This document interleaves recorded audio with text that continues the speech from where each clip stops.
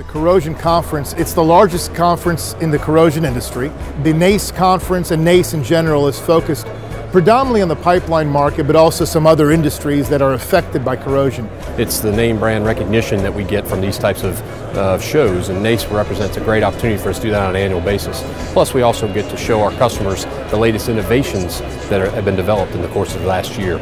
We feel like with our products, the more the users can talk and share ideas and solutions, it really helps our product line evolve and, and become better year after year. I've been at NACE conferences before, had booths, but never had the participation as I have with the showcase.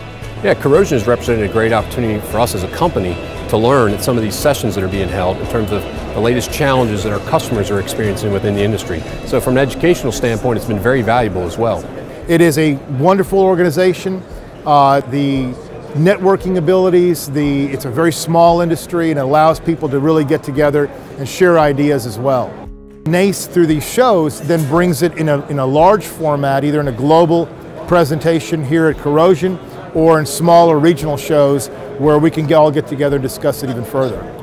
Well, corrosion is our industry. So, of course, the, we have a, a, captive audience here. People are looking for solutions, they're looking for innovation, and we tend to be on the cutting edge of that. So, this is a perfect opportunity to introduce those products. The quality of attendees is very high. Uh, we get a lot of different industries, uh, a lot of different vendors that come in to represent their products. So, it draws a significant amount of attendees from around the world. So, it's a global, you know, type conference. The NACE conference and corrosion shows literally are a vehicle to create solutions for existing problems. I would highly recommend corrosion to any companies that are looking to get their name out there. So it's exciting and it's it, and uh, a lot of people will say corrosion is boring and we don't think so.